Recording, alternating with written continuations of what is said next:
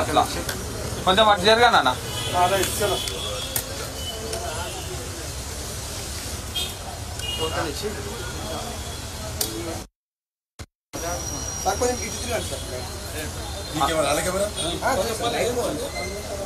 అన్నా నువ్వు కళ్ళు మూసుకోపోతే అన్న నువ్వు ఒకళ్ళకి ఇచ్చేసాయి అన్న. అన్నా నువ్వు అక్కడికి వెళ్ళిపోవచ్చు ఇక్కడికి వచ్చి అన్న కొంచెం డాన్ చేయండి. కొంచెం డౌన్. ఓకే. మిత్రులందరికీ నమస్కారం. ఈ నెల ఇరవై రెండో తేదీ మేడం మేడం. అయోధ్యలోని నూతనంగా నిర్మించినటువంటి రామ మందిరంలో భగవాన్ శ్రీరామ్ యొక్క ప్రాణ ప్రతిష్ఠ జరుగుతున్న విషయం మనకందరికీ తెలుసు. ఐదు వందల సంవత్సరాల నుంచి కూడా ప్రపంచంలో ఉన్నటువంటి హిందువుల యొక్క ఆకాంక్ష నెరవేరేటువంటి సమయం ఆసన్నమైనది.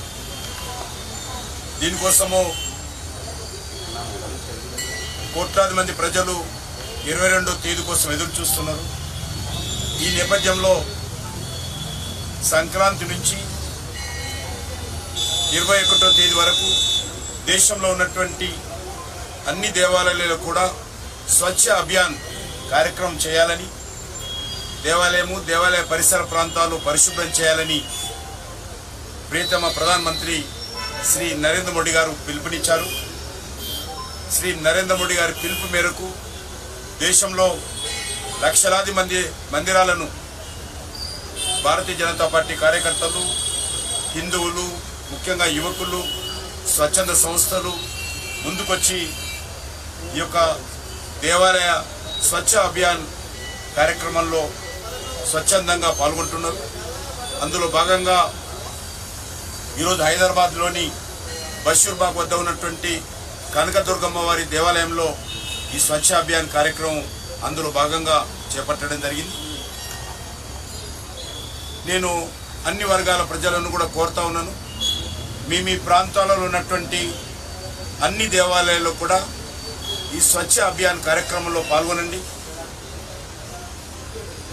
ఈ యొక్క దేవాలయాలు పరిసర ప్రాంతాలు పరిశుభ్రం చేయండి.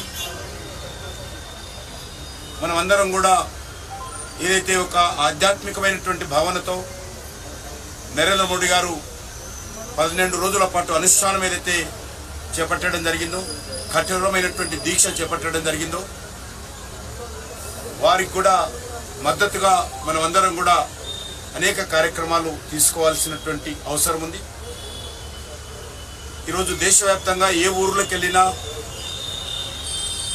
ఏ వాడలకు వెళ్ళినా ఏ నగరంలోకి వెళ్ళినా ఏ ఇంట్లో చర్చించినా ఒకటే చర్చ ఇరవై రెండో తేదీ శ్రీరాముని యొక్క విగ్రహ ప్రాణ ప్రతిష్ఠ అద్భుతమైనటువంటి స్వాతంత్రం వచ్చిన తర్వాత ఇంత పెద్ద ఆధ్యాత్మికమైనటువంటి కార్యక్రమం గతంలో ఎప్పుడూ జరగలేదు. నూట యాభై దేశాలలో ఉన్నటువంటి హిందువులందరూ కూడా ఈ కార్యక్రమంలో ప్రత్యక్ష ప్రసారాల్లో పాల్గొని ఈ యొక్క ఆధ్యాత్మిక కార్యక్రమంలో పెద్ద ఎత్తున చేపట్టడం జరిగింది. మన దేశంలో కూడా ఊరు ఊరు వారవాడ కదులు కథలు ఈ కార్యక్రమాలు చేపడతా ఉన్నాయి. అందులో భాగంగా దేవాలయ పరిసర ప్రాంతాల స్వచ్ఛ అభియాన్ కార్యక్రమంలో కూడా అందరూ చేపట్టాల్సిందిగా ఇరవై రెండో తేదీ అందరూ కూడా మీ ఇళ్ళన్ని ముందు అలంకరించుకోండి